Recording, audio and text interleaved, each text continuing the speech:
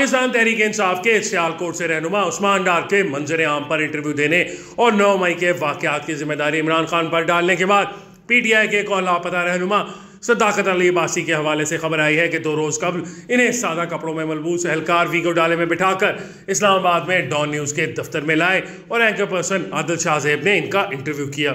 Interview में सदाकत अब्बासी ने नौ मई के वाकयात की सारी ज़िम्मेदारी इमरान खान पर डालने की बजाय बुशरा बीबी पर डाली और कहा कि वो इन दिनों अहम हिदायत दे रही थी। ये इंटरव्यू बाद नशर नहीं हुआ और इसी चैनल के डेटाबेस से डिलीट करवा दिया गया। ये इंकशाफ किया है सहाफ़ी असद अली तूर ने।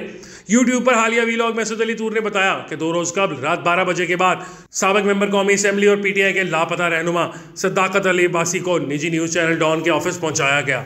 जराए का कहना था कि दो वीगो डाले आए, जिनमें सदाकत अली अब्बासी और सादा कपड़ों में मलबूस एहलकार सवार थे। ये भी कहा गया कि गालबन ये एहलकार आईएसआई के थे वही एहलकार इन्हें इमारत के अंदर लाए और इमारत की सिक्योरिटी को भी अपने हाथों में ले लिया। Senior anchor person Adil Shahzeb को पहले ही बताया जा चुका था और वो स्टूडियो में इनका इंतज़ार कर रहे थे।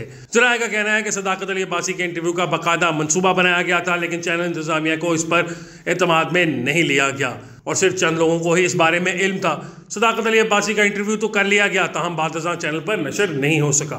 असतूर के मुताबिक इससे कल पीटीआई के दौरे इकतदार में भी सदाकत अली अब्बासी कई मरतबा डॉन न्यूज़ के ऑफ़िस में बहुत से प्रोग्राम्स में शिरकत कर चुके हैं। वो हमेशा अच्छे और नफीस लिबास, जेब तन करते और बहुत उमदा तरीके से पेश आते थे। लेकिन इस बार जब इन्हें इंटरव्यू के लिए मुबैना तौर पर काले वीगो डाले में लाया गया तो इनका हुलिया न्यूज़ चैनल पर इंटरव्यू के हवाले से गैर मुनासिब था। उन्होंने टी शर्ट ऐसे पहन रखी थी जैसे सोने के लिए पहनी जाती है। इनके बाल बुरी तरह से बिखरे हुए थे और इनका चेहरा सुर्ख था, लेकिन अंदाज़ा नहीं लगाया जा सका कि चेहरे की सुर्खी की वजह क्या थी। सहाफ़ी ने कहा कि ज़राए के मुताबिक अब्बासी साहब काफ़ी महबूतुल हवास नज़र आ रहे थे, क्योंकि बारह डॉन के ऑफ़िस आने के बावजूद इस बार आने पर इन्हें समझ नहीं आ रही थी कि किस फ्लोर पर और किस साइड पर स्टूडियो है। इन्हें बताया गया कि उन्होंने किस तरफ़ जाना है। ज़राए का कहना है कि इनके हमरा आने वाले सादा कपड़ों में मलबूस अफराज स्टूडियो में भी पूरा वक्त इनके साथ रहे। अब्बासी साहब के बाल ठीक किए गए और चेहरे का मेकअप किया गया। आदिल शाहजब के साथ इनके इंटरव्यू से पहले मुबैना तौर पर इस्टेब्लिशमेंट के एहलकार ने इन दोनों के सामने एक एक सफ़ा रखा। एंकर आदिल शाहजेब को दिए जाने वाले सफ़र पर शायद इंटरव्यू के लिए हिदायत या फिर पूछे जाने वाले सवाल तहरीर थे। इसी तरह सदाकत अली अब्बासी साहब को दिए गए कागज़ पर शायद जवाब तहरीर थे। ये इंटरव्यू कम बेश पैंतालीस मिनट पर मुहित था और सदाकत अली अब्बासी ने उस्मान डार की तरह नौ मई की पूरी ज़िम्मेदारी इमरान खान पर डालने की बजाय बुशरा बीबी पर डाली। उन्होंने बताया कि बुशरा बीबी इन दोनों सारे इजलासों की सदारत कर रही थी और वही हिदायत दे रही थी।